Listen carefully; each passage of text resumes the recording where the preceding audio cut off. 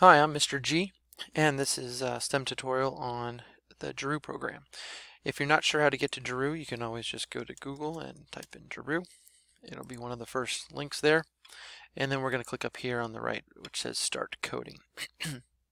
um, what you have right here in the main section is your code editor, uh, where you can type in uh, your Jeroo code. We'll do that here in a few minutes. Um, you'll notice there's two tabs, the main method and the Jeroo methods. We'll talk about Jeroo methods in a later episode.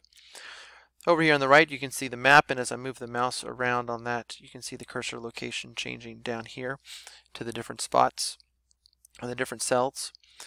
And uh, if we look across the top here you've got your standard file uh, save and open options. Uh, this is my run menu, the different icons here. Um, we'll be able to deal with that here in a few minutes. The run speed options, that'll make sense here when we run our simulation. And then uh, some different options regarding our island file. You can actually have two different files open uh, in Jeroo. You can have your code file and you can have your island file. And um, the up here in the drop down menu you have uh, different ways of changing your uh, the file saving or opening up new files. Uh, you can edit the source code. Uh, we will go down here to the preferences. That's one of the things. Um, I'm going to change the font size to 24. Uh, you do have different uh, themes available for the, this example. I'm just going to leave it as the default, uh, but that's there's some fun ones there.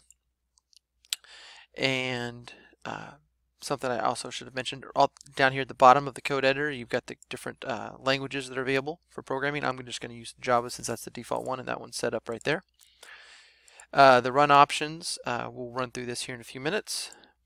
Uh, the run speed, this is the same as that uh, slider option uh, the island file if you want to open or save or print your island, and then your island edit. That's actually what we're going to mess with right now.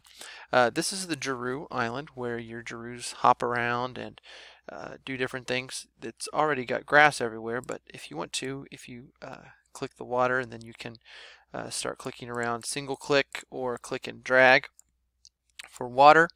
Uh, flowers, you can put flowers at different locations, uh, single click or click and drag. Uh, the same thing with nets to try to catch the Jeroo or create obstacles. Um, and then you can also change the island size if you were to type that in. Now if I type type some new numbers in, then all that stuff is going to get erased, so I'm not going to mess with that to clear.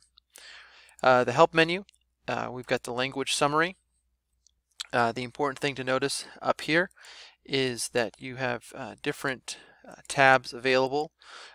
Um, the one that we're going to uh, need here in a minute is the methods.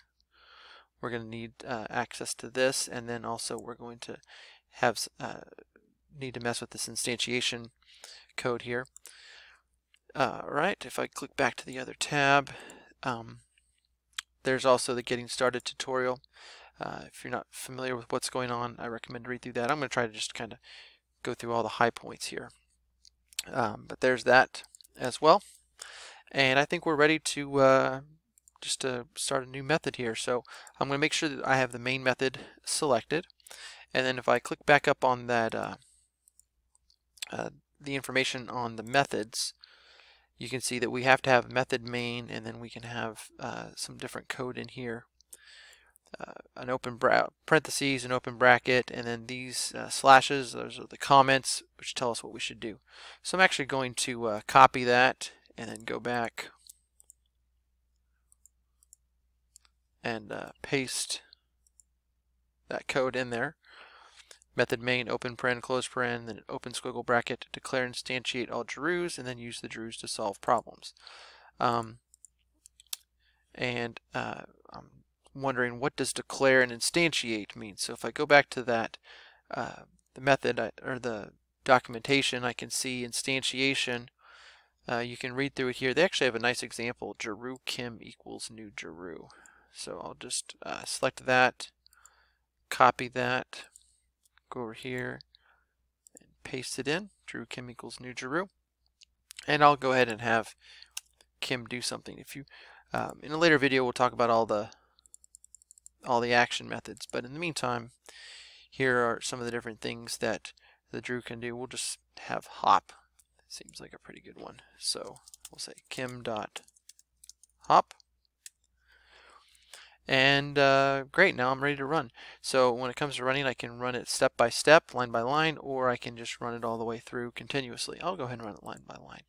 So the first executable line is this line right here. So you can see that it's highlighted and then it has just executed.